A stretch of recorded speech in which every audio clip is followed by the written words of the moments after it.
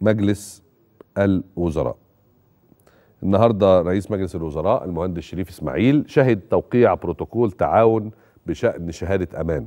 فاكرين حضراتكم شهادة أمان دي اللي كلمت حضراتكم عنها على مدار اليومين اللي فاتوا؟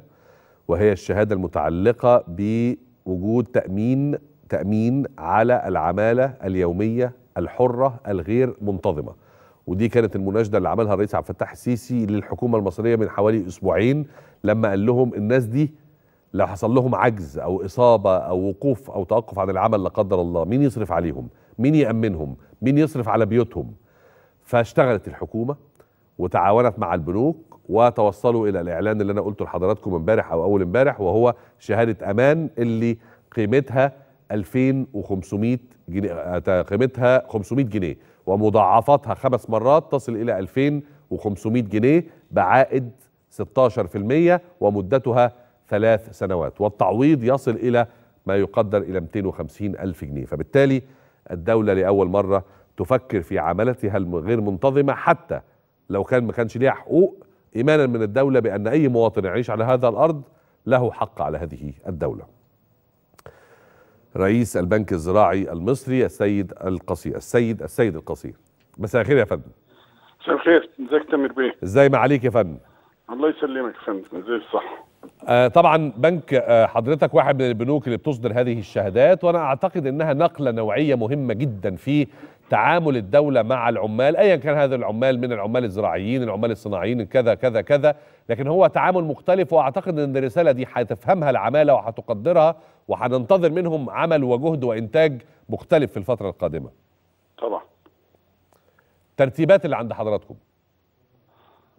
هو هو إحنا طبعا كبنك زراعي مصري إحنا أكبر بنك منتشر. إحنا عندنا 1210 فرع في كل أنحاء الجمهورية في الريف القرى الصعيد الدلتا. يعني متواجدين بجانب الناس. إحنا بنقدم وبنطرح هذه الشهادة لكل ألو؟ لكل العمال سواء مؤقتة أو اسميين سمعنا تامر بيه؟ سامعك جدا يا فندم.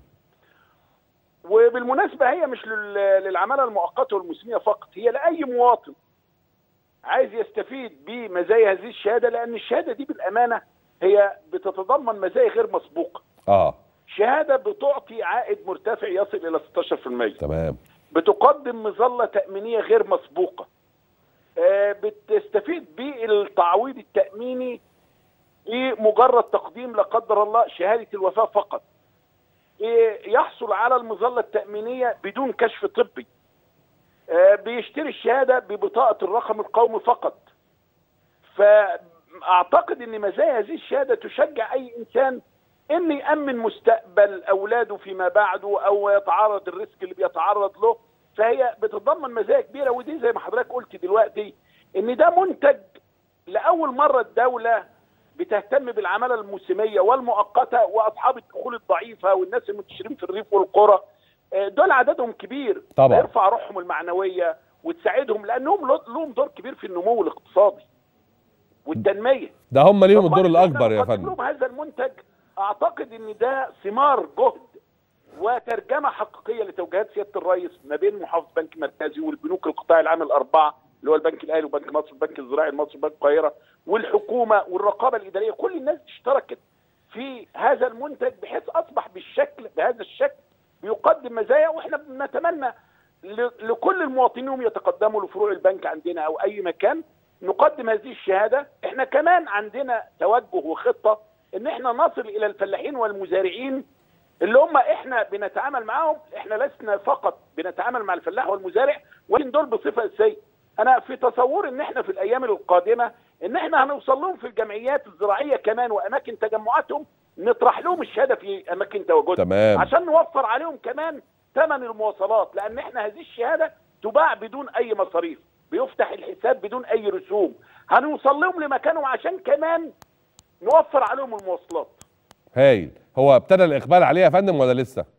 إحنا النهارده في خلال اليومين اللي فاتوا دول انت طبعا عشان عارف إن إحنا لأول مرة إحنا النهارده كنا. بنشهد في حضور معالي دولة رئيس الوزراء والسيد نائب محافظ بنك مركزي ممثلا عن محافظ بنك مركزي توقيع ال... الاتفاق ما بين البنوك شركه مصر للتامينات الحقيقة إحنا بدأنا خلال اليومين اللي فاتوا دول إحنا إجمالي الشهادات اللي اتباعت النهارده. وامبارح حوالي 1650 شهادة تمام. آه، الفئات كلها بتتركز في الفئة الصغيرة اللي هي 500 جنيه ودي بتدي دلالة على إن فعلا الناس البسطاء حاسين بالشهادة وإحنا في الأيام القليلة في الأيام القادمة هنروج لها وهنوصل زي ما حضرتك بتقول لهم. بس إحنا بنناشد الناس اللي مش ما عندهمش مظلة تأمينية اللي معاشهم بسيط اللي دخلهم بسيط. الحالات دي إنهم يستفيدوا بهذه المزايا. أي خصوصا حضرتك قلت إنها مفتوحة للجميع. مفتوحه لاي إنسان يتقدم ببطاقة الرقم القومي فقط. نعم. وبدون كشف طب. اللي أنا عايز أقوله كمان إن من ضمن المزايا إن إحنا بنقدم جوائز. يعني عندنا 200 جايزة كل ثلاث شهور قيمة كل جايزة 10000 جنيه خالية من الضرائب. يعني بقى صف صفي. آه يعني الفلوس الشهادات يعني يا سيد بيه عن الجايزة. الشهادات بتخش سحب يعني. ال ال الشهادات بتخش سحب. كل 500 جنيه بتخش فرصة سحب. بتخش في جوائز حوالي 2 مليون جنيه كل ثلاث شهور جوائز يعني أقصد أقول مزاياها متعددة. هاي هاي هاي. طيب بس واضح إنه لسه محتاجين وعي أكبر و ودعاية أكبر وإعلام دور- أكبر دور لأنه العدد الحقيقة لسه الصحافة العدد قليل يا سيد ودور 1600 المجتمع شهادة في يومين قليل. نحاول نزود التوعية.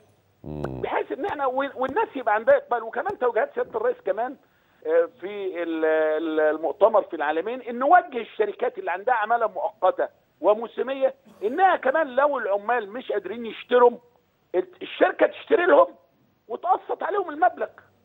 وجهة نظر يعني- وجهة نظر وجهة نظر. شكرا جزيلا سيد القصير رئيس بنك الزراعي المصري.